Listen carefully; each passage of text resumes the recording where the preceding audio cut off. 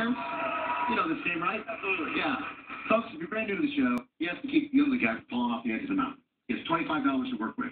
He's going to give me the price of each of these items on the pedestal right over there. For every dollar he's off, the other guy goes up $1. $25 before it flies off the end. If you keep them safe, we're going to give you that brand new better set over there by Rachel. Uh, George, let's hear about the items on the pedestal, please. Come on, you, Drew. All right, first up, one blade is all you need. The new Micro Touch One Professional Single Blade Classic Razor comes with 12 blades for an of the timeless classic. And next, you can open up cans on the first try with this heavyweight can opener. And finally, this tabletop heater features three quiet settings and an adjustable thermostat.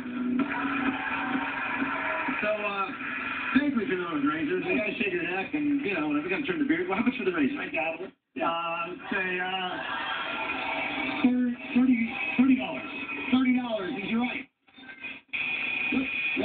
the other guy on your way. Here he goes. A little smirk on his face.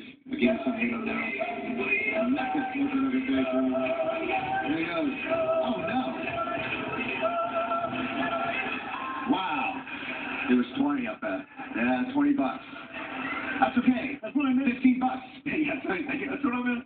Uh, can opener, please. How much for the can opener? Uh, Fifteen dollars to work with.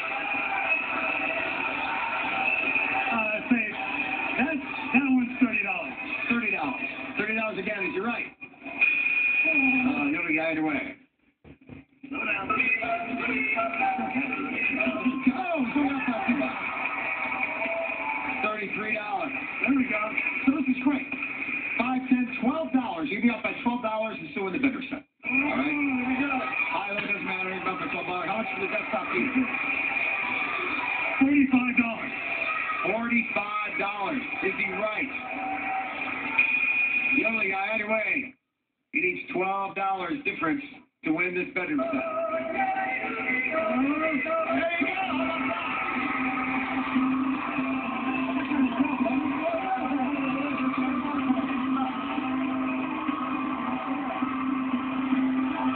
There